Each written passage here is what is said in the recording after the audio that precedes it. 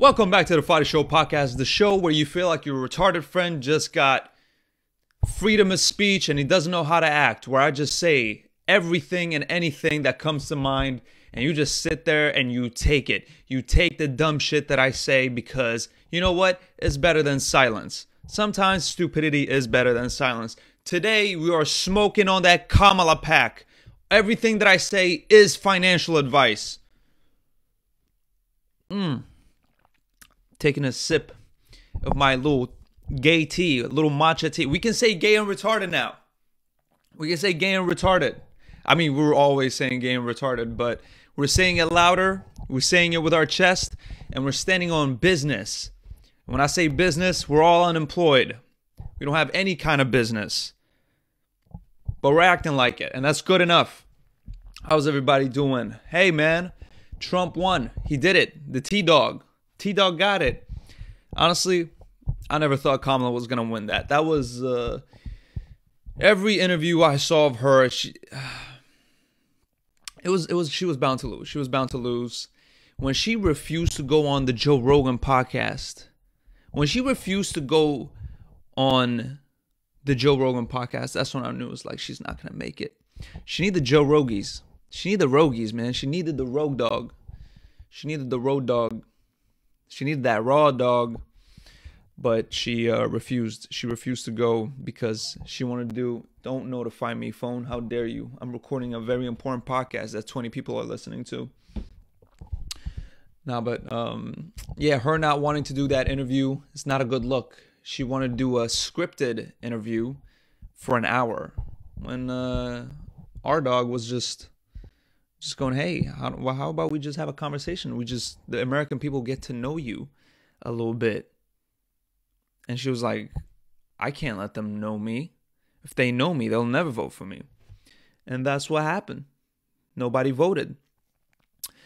This is why I'm, i got my little American, uh, American little washcloth or little towel. You know what's funny? My ex's mom gave me this towel.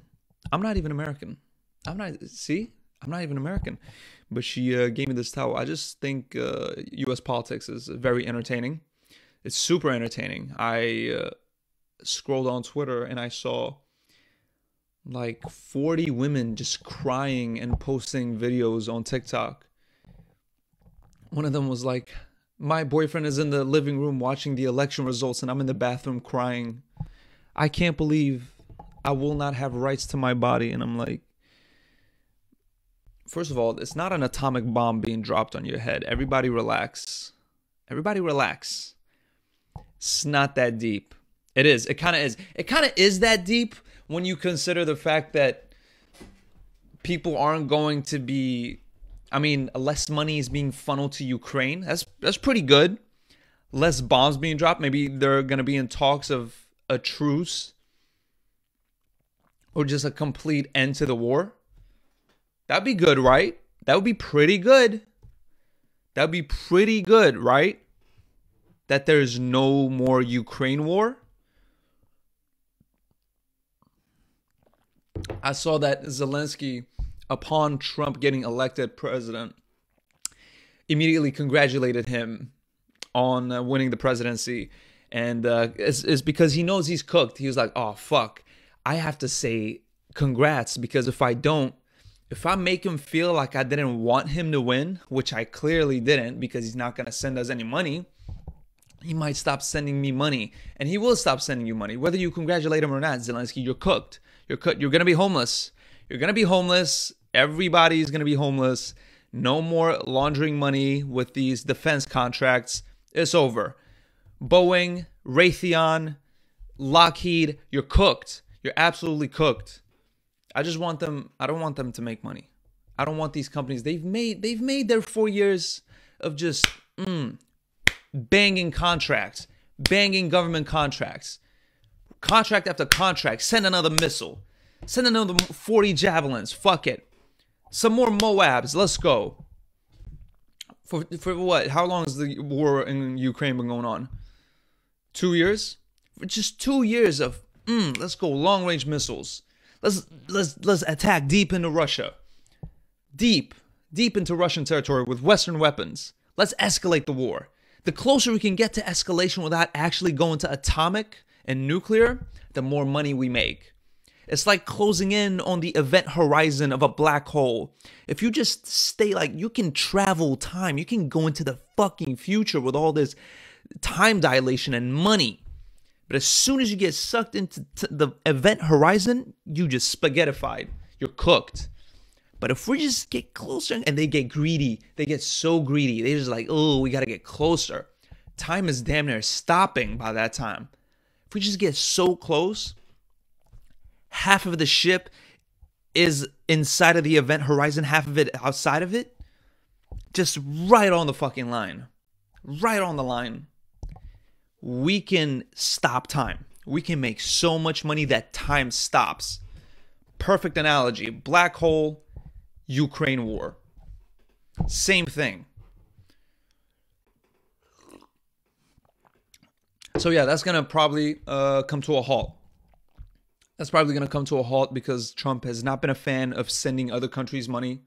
I feel him. I feel him. It's like he has a baby mama, and he keeps sending her money. She's like, I gotta take him to get a haircut. I gotta take this kid to do this. I gotta take him to fight Six Flags. I gotta take him to. Don't do all these activities with my son. Don't do it. Don't do all these activities with my anti tank missiles. You don't need to do all these things. I want to keep my anti tank missiles at home. That's where I want to keep them. Stop stop taking my son, aka Abram tanks, into Russian territory. I'll do that if I decide to do that. And then Ukraine's like, I need a hair appointment. I have a nail appointment. I have to I have to pay these oligarchs. There's got to be some sort of corruption going on there. There's there's no way along the ladders of bureaucracy in Ukraine, the corrupt bureaucracy, that they're not just, oh, a 40 million, 800 million contract. Let me just skim 10% off the top of that before I send it to the next guy. That's not happening. That's not happening. Oh, they're getting reasonable wages. We don't even know what's going on in there. We don't even know how their government and contracts and military and their bureaucracy works. But all, tr- all trusting that they're getting a reasonable salary. They're not. They're definitely yeah. They're definitely not taking two million, four million off the top of that. Surely they're not. It's all just going to defending the Ukrainian people. Gotta be. Come on, man. But you know what? I don't like sitting here and just say, stating the obvious. We all know that's happening. We all know that's happening, and um, it was it was just funny. It was just funny to see everybody just having a meltdown about Ukraine. But what does that mean for Israel? Does that mean that more money will just be funneled to Israel? It's like, hey, we're not actually thinking about reducing cost. We're just gonna reroute it to Israel so that they can bomb Hamas and Hezbollah and uh, the Houthis. There's so many. There's so many uh, organizations, so to say, that they're fighting Israel. Three different organizations, proxies, Iran. I'm not gonna lie, I don't like Iran. I don't like Iran. I feel like they're a very sneaky state. It's a very sneaky state. I don't like what they're doing with Iraq. I don't like how they made Iraq depend. I don't like their influence in the region, to be honest with you.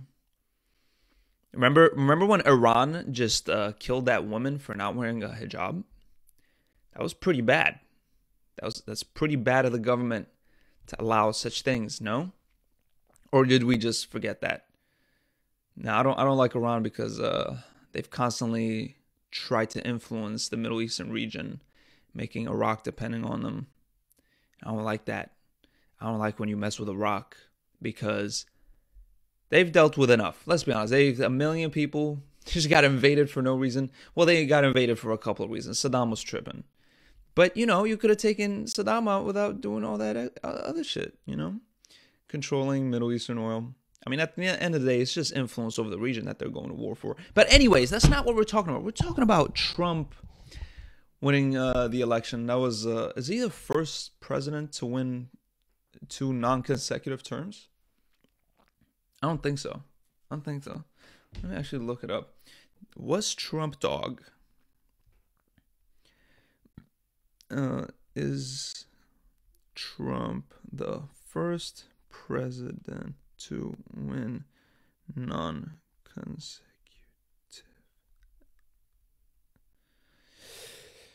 Let's see. Um, oh, will Donald Trump do it for the first time? Will he be the first president ever to win two non consecutive terms? No, he's the second U.S. president. The first one was. Uh, let's see.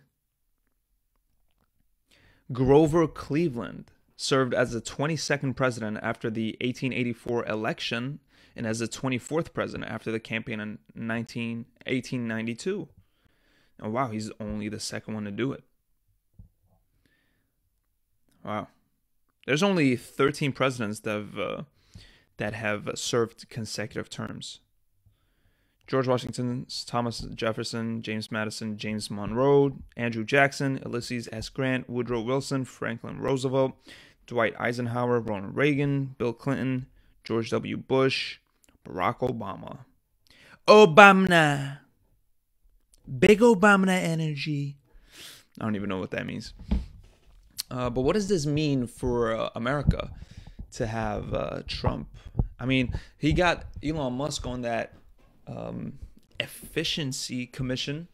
That's going to be interesting, having an efficiency commission. Because it's true, they have a lot of shit going on there. Um, Hong Kong is hitting me up right now. They're telling me to stop talking about Trump. They're not happy. China's not happy about it. China's not happy about Trump being in office because that means resources probably going to be right di- directed to Taiwan, and that's not that's not good for them.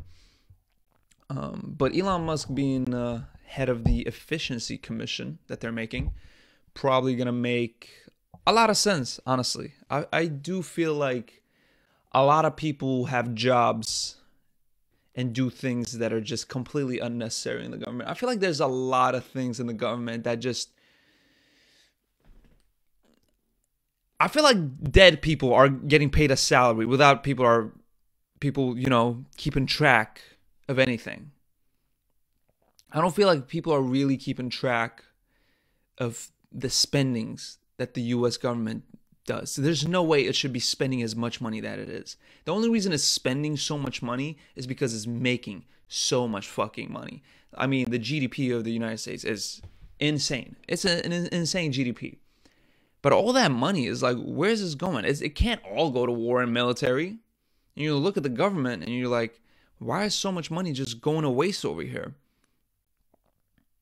And it's like 12 employees to finish one task, basically very inefficient. I mean, when you whenever you have a big corporation, that just happens. You just have a bunch of people that are inefficient and barely doing their job and they're getting paid handsomely because they they've been at the company for a long time. They're at the head of it. They like the employees, but even though it might not be I mean, that's what it that's the whole like counter argument of communism, isn't it? If it, everything is government owned, it doesn't have any competition, it doesn't feel the need to compete, therefore making it less efficient, less innovation, less push towards something when you don't have competition. That's basically uh, like one of the main pointers of one of the main pointers against communism. But the fact is that you are actually in competition with other countries. That's what it is. But when you're so dominant, you have such a monopoly. You're just like, oh, fuck. I mean, look at Twitter. He fired like 80% of the workers because they're like, you guys are not doing anything, actually. So whenever something grows into something really big, whether it's a company or a government, you just have a lot of inefficiency everywhere. So that's going to be interesting.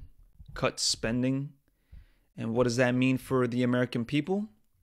to cut spending and reducing the deficit, I'm going to be completely honest with you.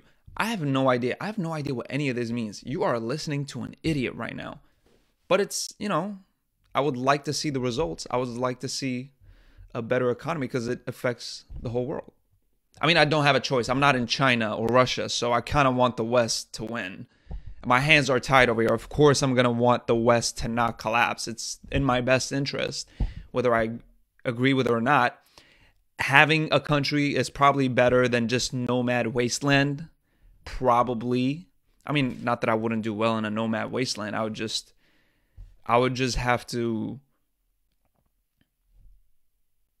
know like a a car mechanic. That's all you need to know. If if all if it all goes to shit, just know a really good real car mechanic, and just become the diesel and gasoline siphoner.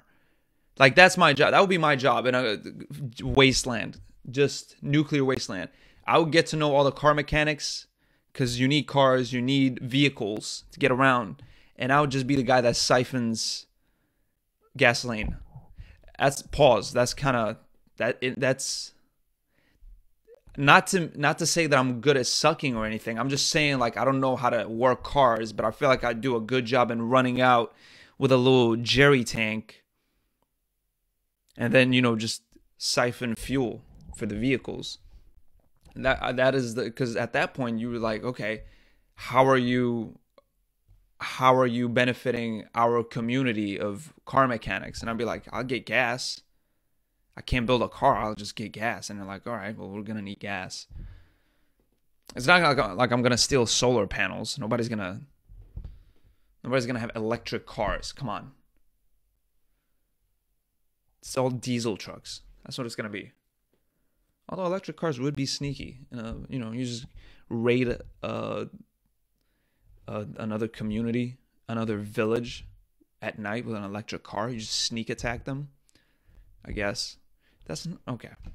Whatever. Moving on. Um, that also means Trump winning that uh, Robert F. Kennedy Jr. is going to have control of the public health agencies such as FDA and NIH. Um, the FDA has uh, been a very bad, very bad agency because they have approved a bunch of shit that isn't allowed in Europe. Why?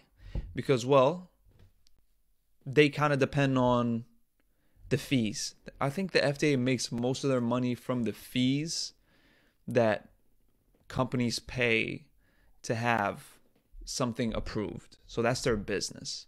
That's most of their money. That's where most of their money coming from, I believe. Let me fact check that.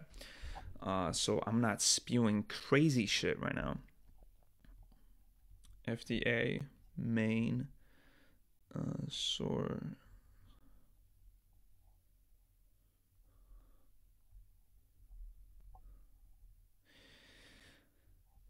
Uh, why is the FDA funded in part by the companies it regulates?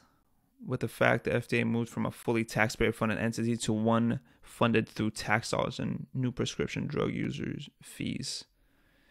Um,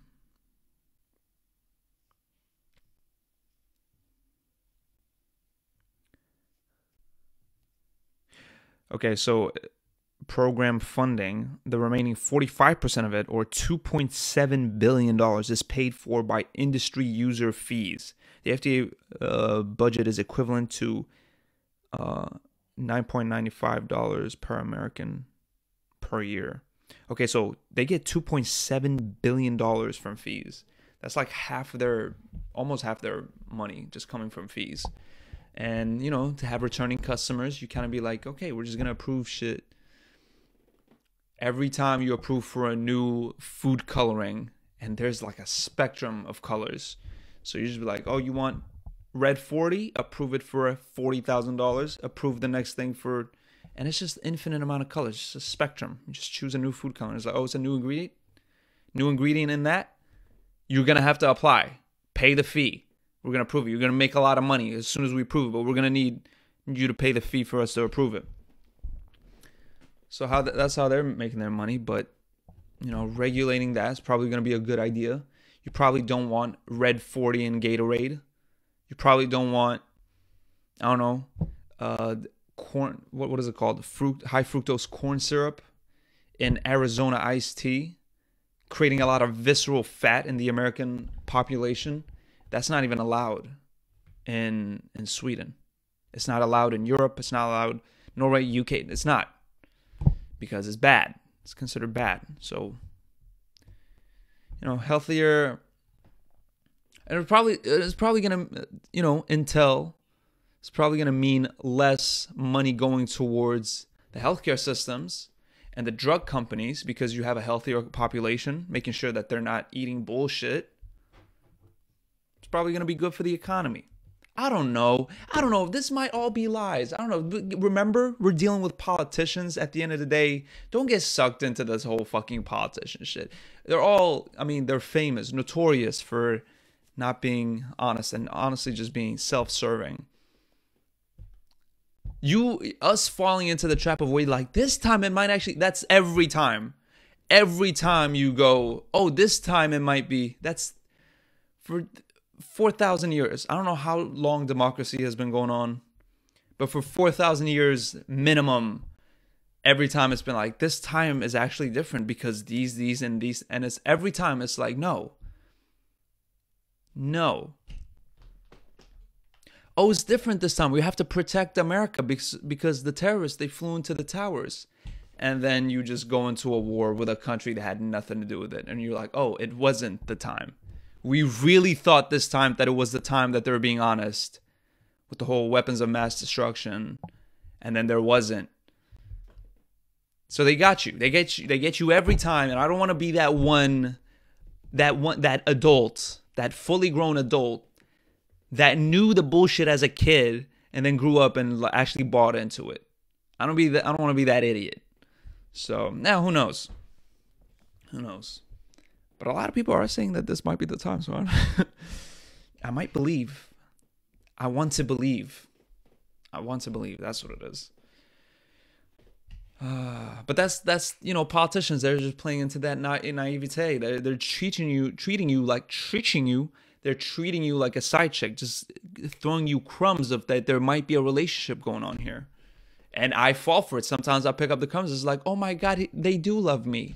They do want to spend their lives. This is just not the time. But they're gonna propose at some point. We're gonna get health care. And it's like, dude, that motherfucker's hustling. He's trying to get to the bag. Can't deal with you right now. You crazy?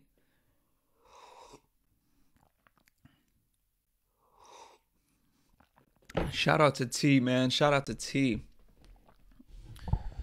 Uh, yeah, so that's that's gonna be interesting. Just having eighty percent of government being fired. I wonder how long before CIA just like I don't we can't put up with this shit. Shoot this motherfucker, bro. Shoot this motherfucker. Remember that when they had. That's just what they have. What happens when you have Catholics in the cabinet? J.D. Vance is Catholic. The the the president, the vice president. So that's pretty cool. We got Catholic, Robert F. Kennedy Jr., Catholic. We got Catholic in the house again. Come on, round of applause for Catholic. You know, somos católicos. We're all Catholic over here.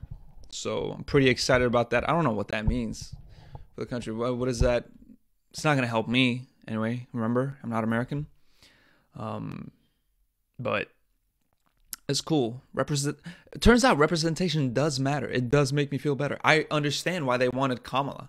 I understand why the why black women and Indians wanted Kamala in office because they're like, hey, it's kind of cool to have us. And then the whole time I was like, vote for policies, not the politicians. And then the politician is Catholic. I'm like, it's pretty rad. That's pretty fucking cool. We have Catholics in there. Fucking Catholics back in the house, man. We're getting up in there again. We're doing it. We're doing it again you know, a lot of people talk about, oh, what happens if you, uh, if that president is unfit to serve by, you know, whatever happens to them, you have a vice president to, you know, replace them, take their place. But what happens if somebody just assassinates the vice president? What then? What? What do you do then? Would you just get a new vice president, or they're like, well, he was there for backup reason. At least they got him and not the main guy. Do they just like try to raw dog it, kind of? Just like, fuck it, we'll just go without the president, without the vice president, or do they? They probably get a new vice president, honestly. But who would they pick then? Just someone from the cabinet, or is that allowed? Is that allowed? Is it allowed? You can get any vice president. I mean, really, that's how you could instill a president in office indirectly. You know, you make you make the president. I mean, you mm, the vice president, and then get somebody take his place, and then you probably get you manipulate you manipulate the president to pick a new vice president, and then when you get the president and get the vice president that you want, you just be like, yeah, we're just gonna take the president out, and now we got the guy, the new vice president as president, and we just bypass the whole election. Now there's a whole new set of two people. You probably put it off in the span of you know a couple of months. But that's an insane discussion that definitely puts you on a list and shouldn't be online, and that's totally theoretical, ironic, and joking, totally kidding. Um, just a hypothetical. We're just thinking out loud. You can't think anymore. You can't think in this country. We can think. I wouldn't want that for anybody though. Look, American flag. Come on. I wouldn't want that would stir a lot of chaos that the world doesn't need right now. We're all, you know, already wars going on. I'm just really interested about that Taiwan shit. I really I want to see you the China make a move in Taiwan. I just want to see what happens. Is it bad to kind of want the Taiwan shit to blow up a little bit just to see what Taiwan does in action? I'm curious to see how they would act in action. I want to see them because they there's a billion of them. When was the last time we saw a country with a billion in population go to war? I want to see what that looks like. That'd be historic. It's fascinating. How the fuck would that happen? What would that, an amphibian attack on a on an island that doesn't want anything to do with you? How do you how do you pull that off? You don't. You don't pull that off. You just it's a it's a very big feat. Because the, the thing is about uh, occupying a country is if they don't want you to be there, if they're not happy about it, it costs money just to maintain that occupation because there's constantly uproar and uh, resistant movements emerging. So you have to like get resources to your military to keep shit down. So the cost of invasion and then the cost of maintenance of an invasion is uh, is high. People don't think about that, but yeah, it does does cost money. Um, I would like to see it. I would like to see it, but for that to happen, you know, they got to pull out of Ukraine. You can't spread yourself too thin. Ukraine, Israel, and Taiwan, three fronts. Come on, we learned from Germany. You don't want to do a three-front war. They couldn't even handle a two-front war, and they had German engineering. You know what the problem was with Germany? They didn't have access to good oil. That was their problem. They didn't have access to good, a lot of enriched oil, enriched oil. They didn't have access to a lot of oil, so they had to make lower quality oil, which means they have to use lower quality engines that are slower than the Americans and British. Because you know the U.S. had military military bases in Saudi Arabia since the 1990s, so they they stacked up on oil, natural resources, all that. So yeah, it gives you an edge, gives you an edge. But guys, that is the episode. That is the episode. That is the Fadi Show podcast. If this is your first time listening, I hope you enjoyed. I hope you enjoyed to your buddy Fadi over here talking shit. If you don't know who I am, I'm a stand-up comedian talking shit, you know, having a fun time over here. Please, if you enjoyed, drop a like. It helps tremendously. And subscribe. Subscribe to the channel so you have the every week. We drop an episode every week.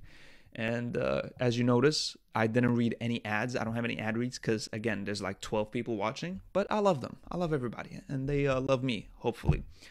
But the way you could support the channel, if you would like to, is uh, joining the Patreon because I'm about to record a bonus episode on the Patreon right now. So that's what we're switching over to. Uh, and that's the Fadi Show on Patreon as well. Everything is linked in the description.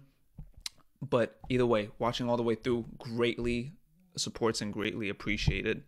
And uh, yeah, thank you guys so much for listening, and I will see you guys next week. Hopefully, some more interesting shit will have happened. All right, switching over to the Patreon. Thank you guys so much for listening. Have a good one. Stay safe. Be easy. All right, peace out. Bye bye.